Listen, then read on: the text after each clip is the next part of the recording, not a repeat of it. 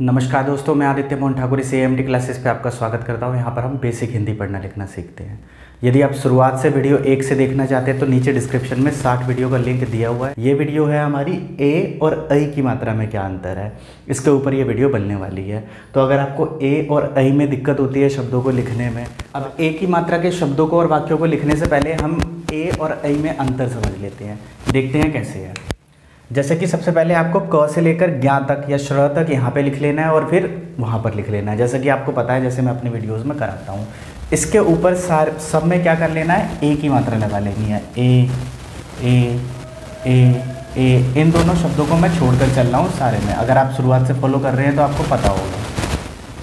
ठीक है? अब जैसे इसको बोलता हुआ चलता हूँ। के, खे, गे, घे, चे, छे जे, झे टे ठे डे, ढे, ड़े। ते, थे, दे, ढे, ने। पे, फे, बे, भे, मे। ये, रे, ले, वे, शे शे शे, हे अक्ष त्रे, ज्ञ अश्रय ठीक है, ये क्या बना? श्रेय। ये ए की मात्रा हो गई। ए की मात्रा थोड़ी एकदम से निकलती है, इतना समय लेके। ए ठीक है? और ऐ की मात्रा क्या होती है? ऐ ऐ में एक ई का साउंड भी आता है। ए में ई का साउंड नहीं आता ए ठीक है? और ऐ में एक ई का साउंड भी आता है है ना? जैसे इसको हम पढ़ते हैं, ये क्या बना? के बना। लेकिन दो लगा दिया तो कई खई। गई। घई। चई। छई।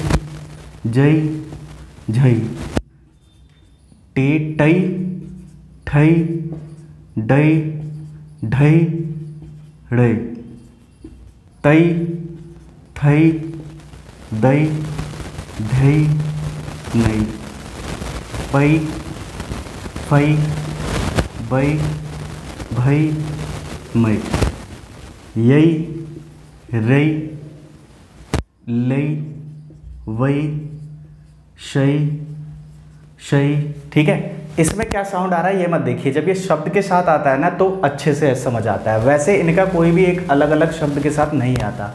ये हमेशा शब्द में आता है। तो शब्द में इसका साउंड पकड़ने की कोशिश कीजिए, ठीक है? ये तो मैं करा रहा हूँ तो आपको बताते हुए चल रहा हूँ। बारह खड़ी में ये सब चीज़ें मैंने कराई हुई है। तीन लाख से ज़्यादा वीडियो तीन लाख से ज़्यादा लोग देख चुके हैं उस बारह खड़ी की वीडियो को तो आप भी जाके देख लीजिए। बारह खड़ी दो पार्ट में मैंने कराई हुई है। से सही हई अक्षय, त्रय ज्ञाई श्रय। ठीक है? अब दोनों के बीच का अंतर जानना बहुत ज़रूरी है, ठीक है? जैसे ये बना के, ये बना कई, खे, खई, गे, गई, घे, घई। अब जितने भी ये चीज़ें मैं करा रहा हूँ 160 से ज़्यादा वीडियोस हो गई है, इनको आप लिख लिख कर देखिए। आपके सामने मैंने सब चीज़ शुरू की है, यहाँ से इसे लिखिए, वहाँ से उसे लिखिए। जैसे जैसे इस वीडियो में बताया जा रहा है वैसे वैसे करिए। अगर आप सभी चीज़ों को अपने हाथों से करेंगे समझ समझ कर तो आप गारंटीड हिंदी पढ़ना लिखना सीख सकते हैं, सभी नाम लिखना सीख सकते हैं, और काफ़ी चीज़ें समझ सकते हैं, अगर आप सभी चीज़ों का अभ्यास करेंगे। खुद पर भरोसा रखें और चीज़ों को करिए। इधर उधर की बातों में जाएँगे तो आपको कोई जवाब नहीं मिलेगा। अभ्यास करेंगे तो अभ्यास की टेंशन होगी। फालतू के सवाल सोचेंगे तो फालतू के सवालों की टेंशन होगी। वैसे आपके सवालों के, कई सारे सवालों के जवाब मैंने 10 लाइव सेशंस में दिए हैं और उसके बाद कई सारी वीडियोस भी बनाई है जो जो आपके सवाल आते रहते हैं उनके लिए। अब ये बना चे, चई, छे, छई, जे, जई, झे, झई। टे, टई ठे ठई। डे, डई, ढे, ढई।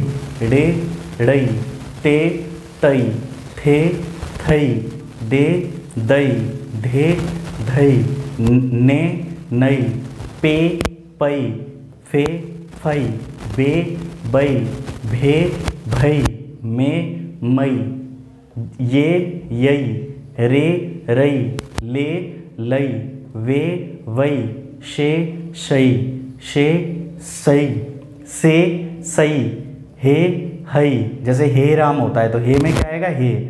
अक्षय अक्षयी त्रे, त्रयी। गे ज्ञई श्रे, श्रयी। ठीक है? तो ये दोनों के बीच में अंतर हो गया। अब जब हम शब्दों को बोलेंगे, लिखेंगे तो इन चीज़ों को हमें ध्यान रखना है कि ए का साउंड आ रहा है या ऐ का साउंड आ रहा है।